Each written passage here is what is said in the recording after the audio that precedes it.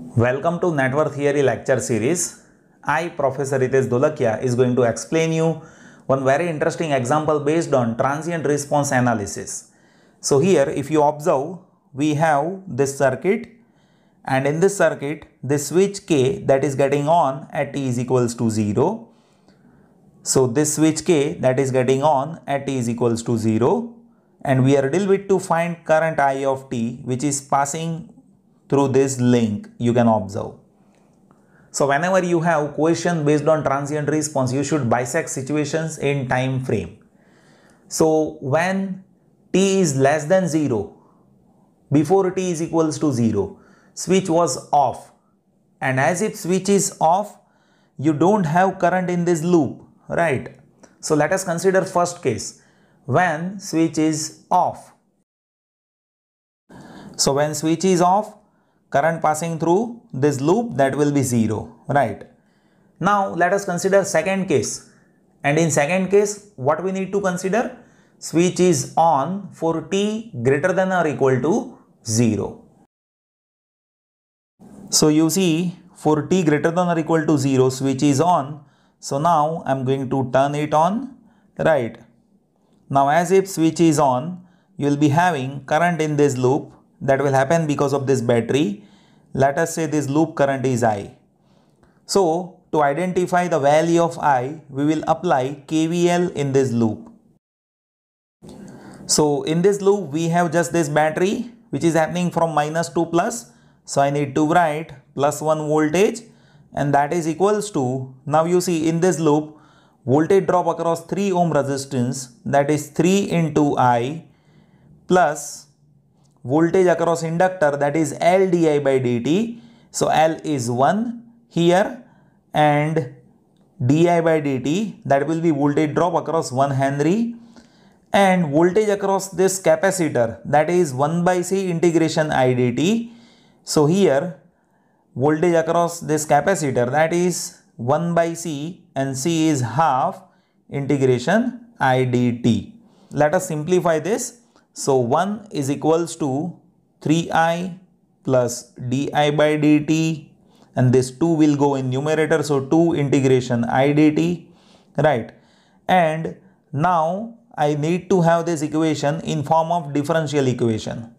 So to get differential equation I need to remove this integration term and to remove integration term I'll have to differentiate this equation with respect to time. So let us differentiate this equation with respect to time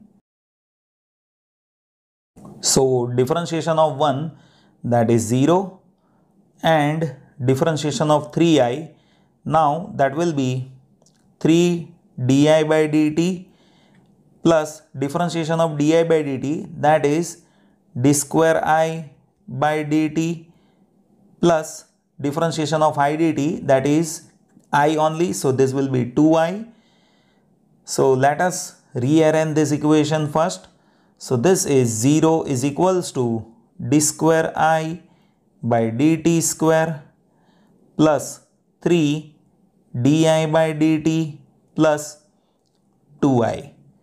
So now we have differential equation. Now my dear students, if you have differential equation and if it is having power 2, then by normal differential solution which we were been solving it by previous examples that cannot be applicable. So here all we need to do is we need to take Laplace of that differential equation and we need to solve it by using Laplace, right? So here if you apply Laplace over here with this differential equation then double differentiation means s square into i plus 3 into single differentiation means s into i plus 2i right. So here you will be having i common and this will be s square plus 3s plus 2 into i.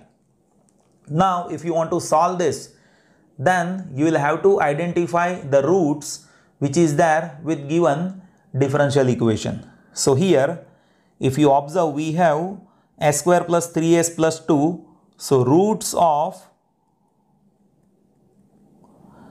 s square plus 3s plus 2 is equals to 0 that will be there at s is equals to minus 1 and s is equals to minus 2.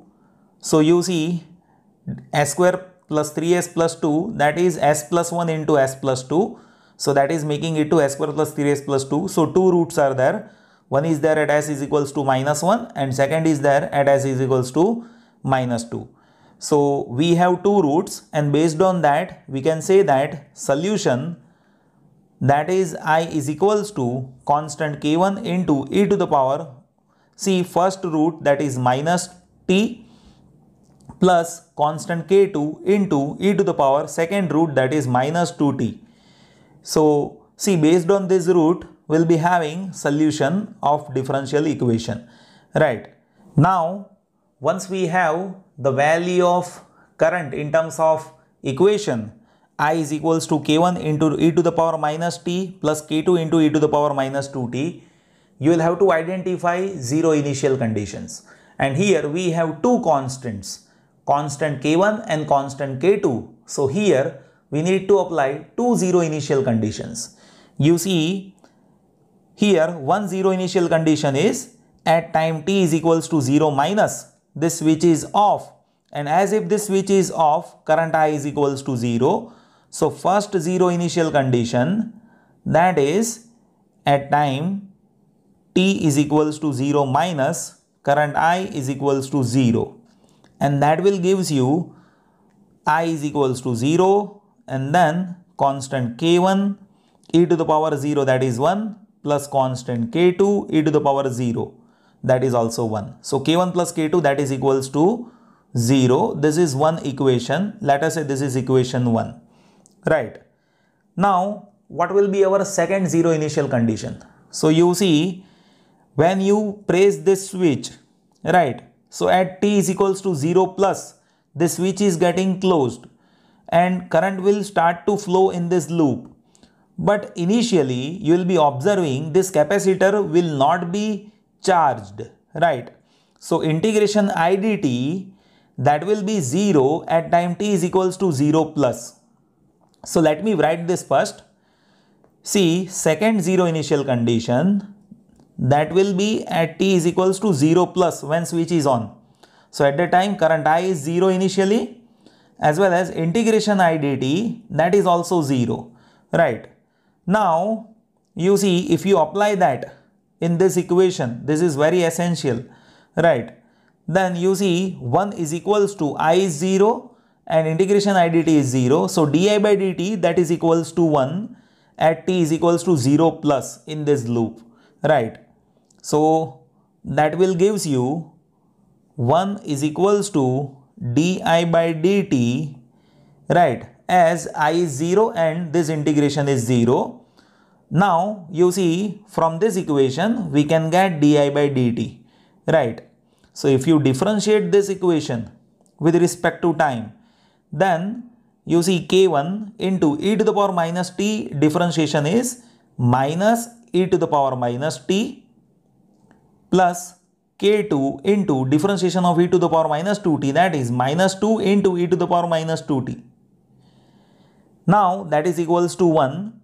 So let us place t is equals to 0 in this. So 1 is equals to minus k1 e to the power 0 is 1 minus 2k2 e to the power 0 is 1 again. So we have this second equation. Now we have two equations, right? Let us solve these two equations. So one is k1 plus k2 that is equals to 0 and second is minus k1 minus 2k2 that is equals to 1.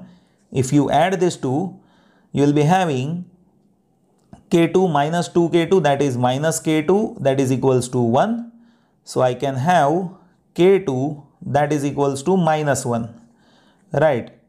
And as K2 is equals to minus 1, I can say K1 is equals to plus 1, right? So K1 that is equals to plus 1. So K1 and K2 that we have, so we can substitute that in this equation, right? So we'll be having current I that will be so whenever you have this type of question, all you need to do is you'll have to see how many constants are there. right?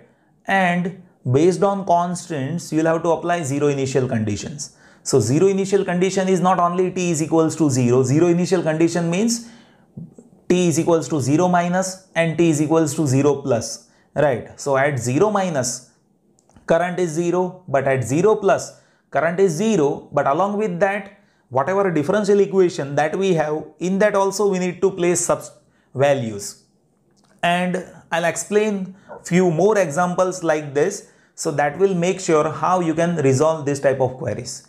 I hope you have understood this. Thank you so much for watching this video.